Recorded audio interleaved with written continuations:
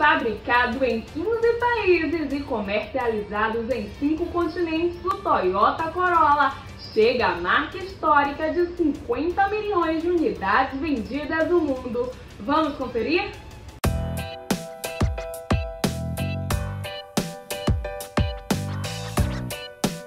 Desenvolvido três décadas depois da fundação da Toyota, o primeiro modelo do Corolla chegou ao mercado mundial com grande aceitação e logo se tornou um objeto de desejo de consumidores no Japão e no mundo. Mais que um sedã, o Corolla serviu como um símbolo da filosofia e valores da marca, além de ser referência de qualidade e inovação no setor. Agora, esta trajetória de sucesso ganha uma nova página ao atingir a histórica marca de 50 milhões de unidades vendidas no mundo.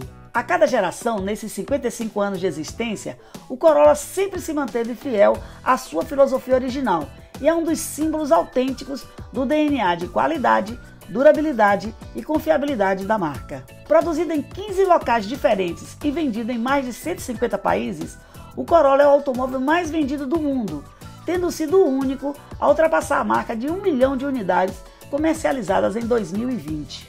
Além disso, é o modelo líder de seu segmento há sete anos consecutivos no Brasil e se manteve por muito tempo no ranking dos 10 veículos mais vendidos do país. Produzido inicialmente na planta de Takaoka, no Japão, construída especialmente para o Corolla, a Toyota apostou num conceito que assegurava um carro de alta qualidade para surpreender o consumidor. No Brasil, o modelo chegou em 1994, após a abertura das importações de automóveis, e em três anos também mostrou sua força no mercado nacional. Em 1997, a Toyota anunciou a construção da fábrica de Indaiatuba, interior de São Paulo, que a partir de 1998 seria responsável pela produção do sedã em território nacional. A edificação da planta foi um importante marco para a história da empresa no país, o que permitiu ao fabricante consolidar sua atuação na indústria nacional e auxiliou sua expansão e desenvolvimento sustentável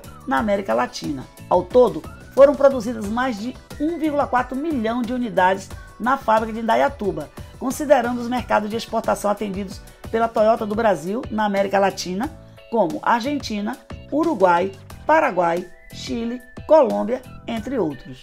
Ao longo dos anos, o Corolla se consolidou como líder absoluto na categoria de sedãs médios. Somente no primeiro semestre de 2021, mais de 23 mil unidades foram comercializadas do Corolla, o que lhe permitiu uma participação de 56% em seu segmento. A 12ª geração, lançada no Brasil em setembro de 2019, chegou como um divisor de águas na indústria automotiva nacional. Pela primeira vez na história, um veículo híbrido com motor flex começou a ser produzido no Brasil, contribuindo para um maior entendimento dessa tecnologia por mais brasileiros e consequente aumento desse nicho de mercado dentro do setor automotivo. De janeiro a julho de 2021, por exemplo, as versões híbrida Flex do Corolla Sedan acumularam 4.287 unidades comercializadas que, se somadas aos números do irmão SUV Corolla Cross híbrido Flex, representam cerca de 60% do market share do segmento de veículos eletrificados no Brasil. Em 2021,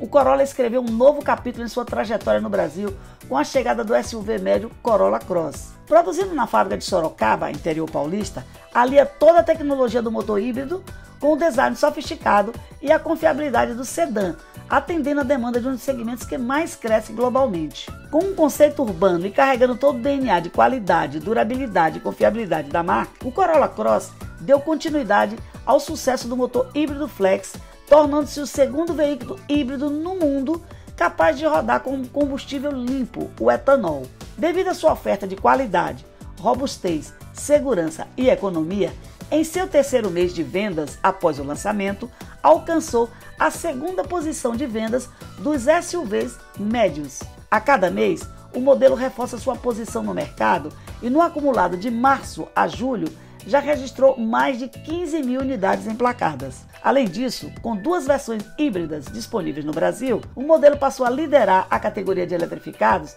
com cerca de 5.237 unidades comercializadas.